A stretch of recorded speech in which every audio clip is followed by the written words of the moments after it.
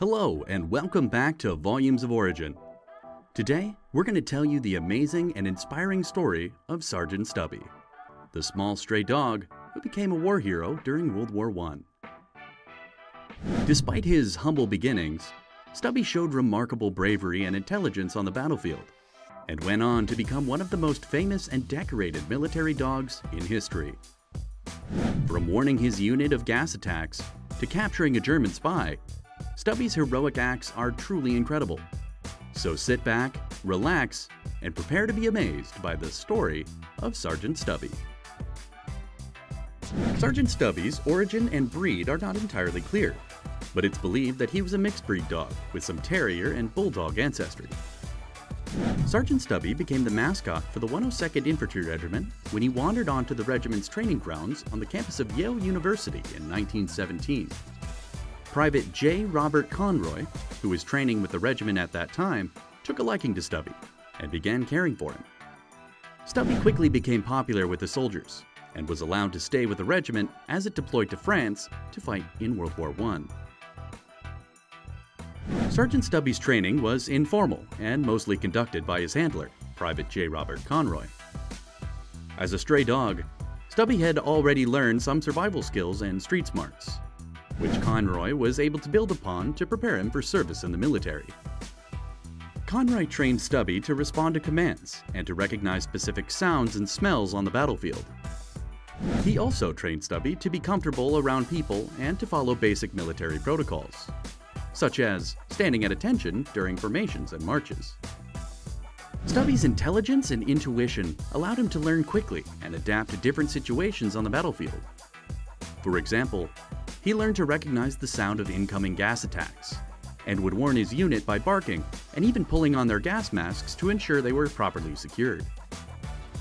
While Stubby's training was not as formal as that of other military animals, such as horses or pigeons, his natural instincts and his close bond with Conroy allowed him to perform his duties with incredible bravery and efficiency. Sergeant Stubby was present at many significant battles alongside the 102nd Infantry Regiment, 26th Yankee Division, including the Battle of Chateau Thierry and the Meuse-Argonne Offensive. During his service, Stubby performed numerous acts of bravery and intelligence that earned him a reputation as one of the greatest war dogs in history.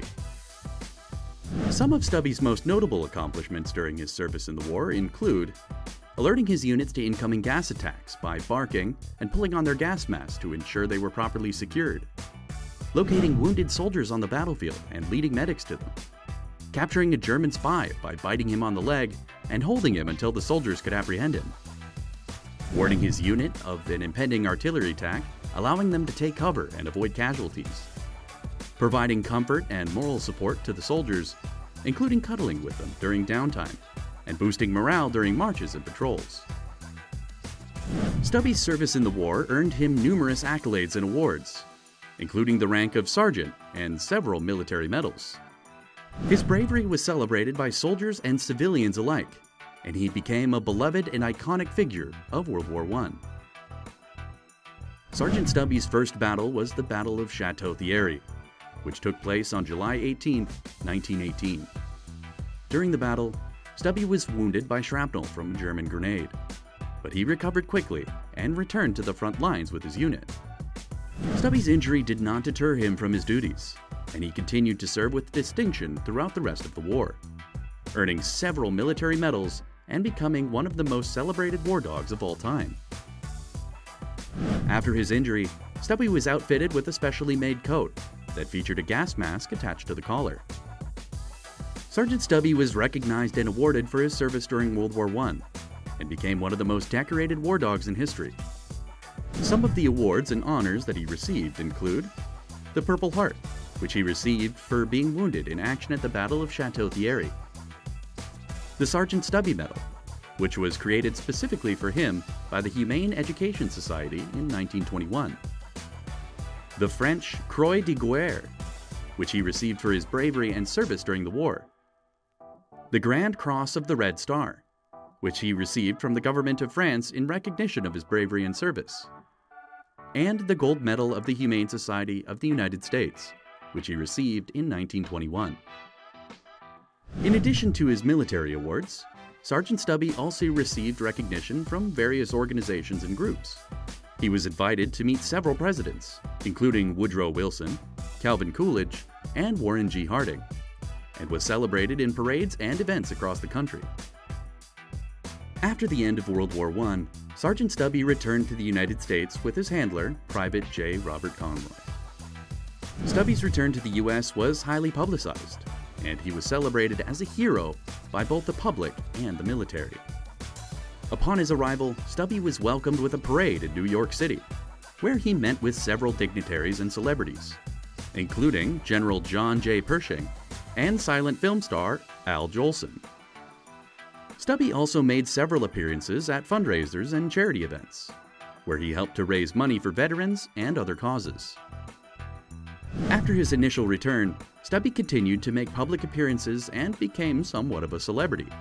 He was invited to attend sporting events and political rallies, and he even had a role in a silent film called Sergeant Stubby Comes Home. Despite his fame, Stubby remained loyal to his handler, Conroy, and accompanied him to Georgetown University, where Conroy attended law school.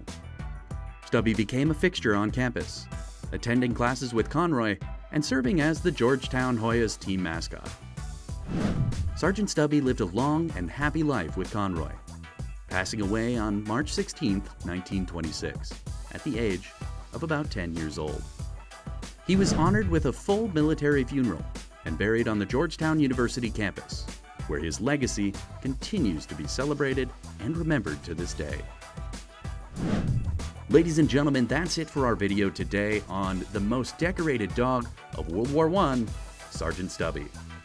We hope that you enjoyed this video, and if you did, definitely leave a like and a comment to tell us what you think. And we'd love it if you would subscribe and join the family. Thanks for listening, and we'll see you next time.